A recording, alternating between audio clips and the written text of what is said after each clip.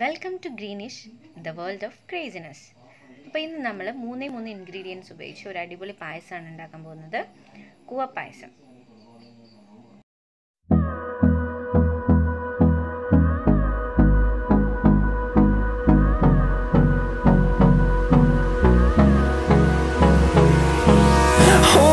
close till I get up.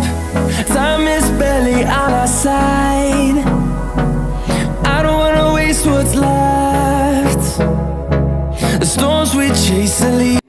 അപ്പോൾ ഇതിനാവശ്യമായിട്ടുള്ള മൂന്ന് ingredients എന്തൊക്കെയാണെന്ന് വെച്ചാൽ കൂവപ്പൊടി തേങ്ങ അതുപോലെ ശർക്കര.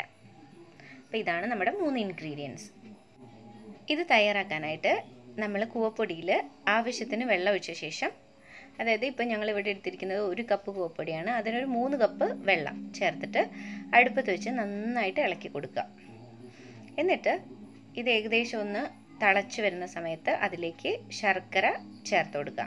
ശർക്കര നിങ്ങൾക്ക് വേണമെങ്കിൽ ശർക്കര പാനിയാക്കിയിട്ടും ചേർക്കാം. പക്ഷെ ഞങ്ങളിത് ശർക്കര അതേപോലെ ഇടാണ് ചെയ്തത്. കാരണം ഇത് ഈ കുവപ്പൊടി വേയുമ്പോഴേക്കും കുറച്ച് ടൈം എടുക്കും.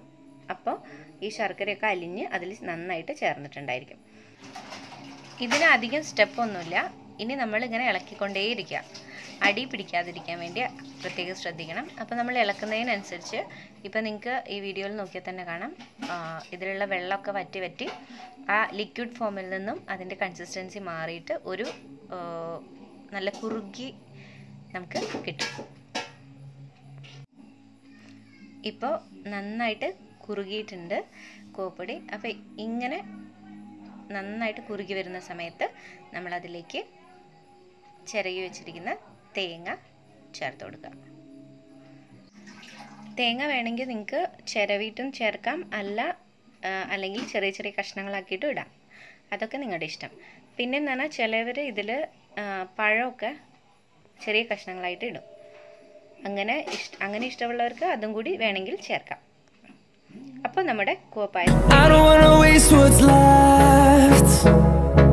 The storms we chase are leading us